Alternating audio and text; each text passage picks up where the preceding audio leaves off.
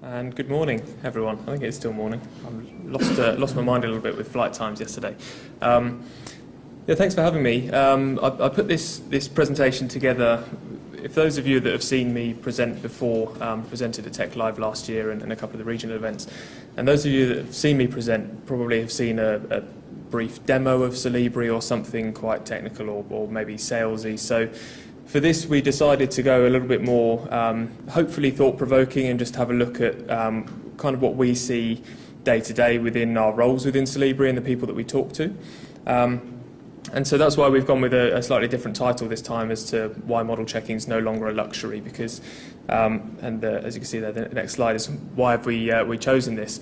We went down this route because we have a lot of conversations day to day with customers now where we talk quite a lot about clash detection and we get caught up in talking about clashing and, and the basic stuff. We call it basic, the, the stuff that we can do every day on, on our models. But it's now, we've got a, a lot more intelligent clients and, and things that are, are looking at maybe we can check against building regulations or something a bit more advanced to make sure that we wipe out issues earlier in the in the process uh, on a project rather than letting things get further down the line and, and you know cause issues uh, or, or, higher costs a bit later on.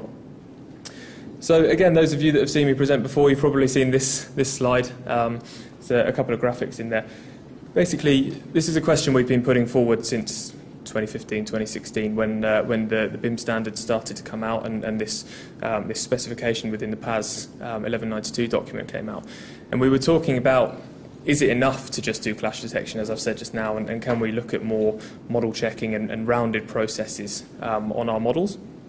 And the, the graphic at the, the bottom right there with, you know, are you too busy to improve? It's that, that typical, you know, taking a step back from what you're doing day to day and actually having more of a, a look at your processes and whether there's anywhere that we can improve it or you know, maybe it's a, something a bit daunting to, to, um, you know, to change what you're doing anyway.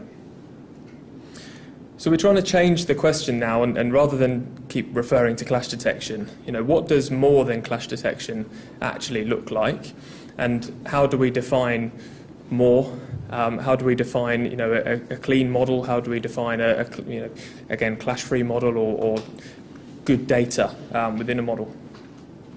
And then again, I come back to this this graphic um, with you know having actually taking that step back and, and trying to talk. We're trying to talk with customers more about process um, and the ways that these things can be improved, rather than just trying to sell a, a, a product. Look at you know say here's Solibri, this will you know solve what you want to do, and actually uh, look at what's important to you and what's important to the projects that you're working on and the roles that you play.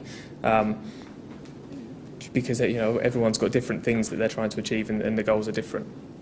So hopefully it will make a bit more sense as to, to where I'm going with this um, shortly. But uh, I want to just take a, a rewind to 2016. We've, we've been look, doing a bit of, of research um, into why uh, the perception that clash detection is, is all we need to do, where that's come from, and, and why our sweet spot traditionally has been uh, contractors um, who are doing these more advanced checks with Solibri, and why it's now looking to, to broaden out slightly.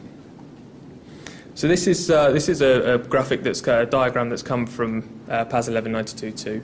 Um, and you can see here the bit that we've been focusing in on um, and talking to customers about is this central area here, this kind of um, work in progress area, the four boxes there. And there's, you can see the, the, the, blue boxes there in the work in progress area talking about non-verified design data. And I think we, we saw a, a, shift in people saying, well, when we're at design stage, actually, you know, it's, it's non-verified, it's, that's, that's fine. We can just send a, a design in and you know, we don't need to do our own internal checks because that will be done further down the line. And as I say, that's where the, um, the sweet spot of, of contractors is, is typically come from for our customer base. Because then it comes into this shared area within the common data environment, and this is where some of the coordination checks and data validation are being carried out, and then results are being fed back out to the, the subcontractors and design team to, to do that. So I think, again, from the research that we've done, and there's a couple of poll questions that I'll show you the answers to in a second as well, but I think that's where this, this perception of, you know, we do our own internal clash detection and, and no more than that needs to be done has, has come from. Um, and model checking was, was going to become a big part of, of the BIM standard, um, certainly in the UK, and, and, has kind of fallen off a little bit or, or become a bit ambiguous as to what needs to be done. Um, but I think that's kind of where, where we've seen that from. So then we look at this, this second diagram here, and again, um, still from this kind of uh, standards document. Um, and, and, what we're looking at here is, is BIM maturity levels. And we kind of go through from level zero all the way up to level three, this kind of utopia of where we'd like to be with, um, with being, you know, BIM compliant and, and having these different levels of maturity. But level two is kind of where, where that standard was and where everyone was told they, they needed to be at. And I pick out a, a few key words here. Again, this is from our own internal conversations. And the things that are highlighted there from level one onwards are collaboration, interoperable data, and focusing on the models and not being 2D and having our own processes over this way and then not sharing it out with the rest of the design teams and, and the people on the project.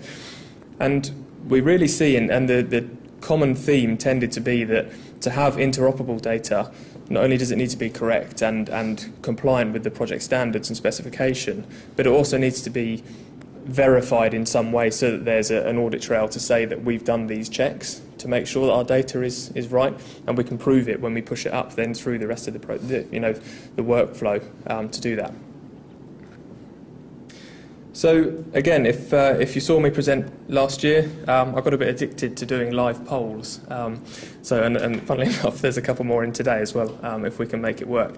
So we asked a couple of questions uh, last year, and, and some of the, the results were fairly interesting. So this first one, this allows you to, to type um, what you want your answer to be. And then the general gist is the bigger and more central that the word is uh, on the diagram is, is the ones that have been typed the most and the most popular answers. So we put this one forward. What is quality assurance to you? So at Solibri we talk quite a lot about quality assurance and model checking, as I say, rather than some of the, the more basic stuff. And I have to say I was worried at first because when this came up, and the two things here, number one is clash detection came up big and bold on the front, and I think it was just you know, someone got there first, and then coordination and some of these other great words and compliance and BIM and things came up, and, and they started to dominate the, the diagram then. Uh, the other thing was Steve keeps popping up. Um, you can see there, someone thinks Steve is quality assurance um, to them. So, and he did reappear in quite a few of the presentations as well. So I don't know if it was someone uh, following my uh, my talks around the country as I was going. But I found that one quite interesting, and coordination seemed to dominate there, and, and, coordination comes back to you know this kind of collaboration word of being able to work with others on a project, and you know everyone works together. The next question that we put forward was. Do you have a quality assurance or data validation process in house, you know, within your own practices and, and companies?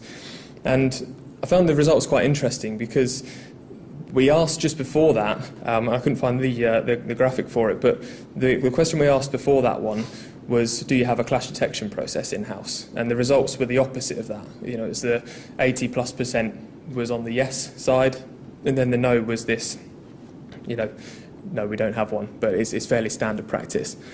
And I think the reason, again, coming back to the topic of the, the talk, is, you know, it's no longer a luxury, is because people are taking that step now to go beyond clashing and look at this whole you know, clean model and, and proper data that we've got uh, within our, our models. So, as I say, there's a, there's a couple that I've got in here. So I don't know if, if everyone's got mobile phones on them. Um, if you have, if you can grab them out. And if we're connected to the Wi-Fi, this should work. If it doesn't, I'll, uh, I'll accept defeat and move on. Uh, on the screen there, there's um, you can go onto your web browser um, and go onto uh, pollev.com and then it's forward slash Harry 0897 and it should flash up with this question. Um, so if you remember the diagram earlier on with the different BIM maturity stages, um, this is just a question that we found would be an interesting one to put forward uh, just as to which level uh, people see that they are at in terms of that BIM maturity.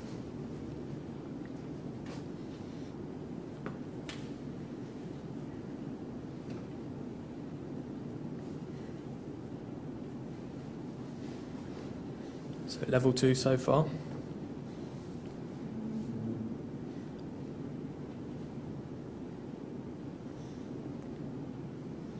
Some level ones coming in. And the good thing is, this is kind of where we, we expect it to be, it's, and it's great to see that you know majority are at level two, and, and then we've got the, the level ones. If you know if you are at that kind of level one stage, if you like, and pushing yourself forward to uh, to these new technologies and new ways of working, then that's kind of um, you know our purpose and, and, where we're trying to get to. Um, so that's uh, that's really great to see. And, and again, I'll share these results out um, after this this presentation um, via Twitter and things. So um, all of the results will be public from here. The next one, there's a, a just uh, one last one.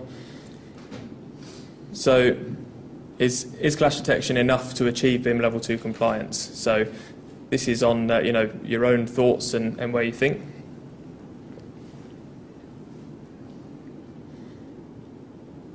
Great to see a no come straight in. Give it a couple more seconds.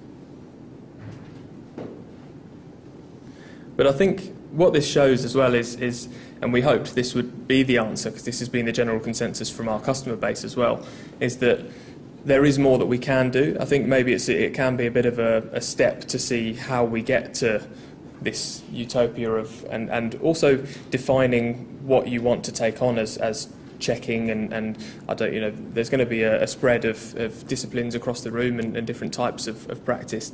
Um, so it comes down to what you want to take on as a risk to your practice. But this is uh, kind of what we're seeing is that that more advanced and, and wholesome um, model checking is, is where we want to get to. So there's a, a couple more slides to, uh, to run through just before I finish off. So then we've basically now seen that the outcome from our research into this question of is it enough to only do clash, clash detection, no is, is the, the general answer that we've seen. So we're changing the question now to be how can we validate, and validate's a, a key word um, that, uh, again, uh, that we see quite a lot. How do we validate our models and ensure complete quality? So that's the question that we're, we're starting to put forward a lot more now and, and coming away from just talking about clashing, as I say, and, and look at these more advanced things that we might be able to do. And then, as it says under there, just talk about model checking and QA as a standard way of working, not a luxury. So there's a why is this important. Um, I'm not going to read all of these out because um, uh, I think they're, they're fairly self-explanatory. But there's uh, there's an interesting one there which we've we've right at the bottom that um, uh, staying ahead of competition. It's one that comes up quite a lot, and, and we have project meetings and uh, internal reviews with our customers, and, and we talk about competition and, and oh these these guys are doing this, and it becomes quite a, a heated debate, and it's it's a, a, fun one to be part of, and I think it's more and more we're seeing.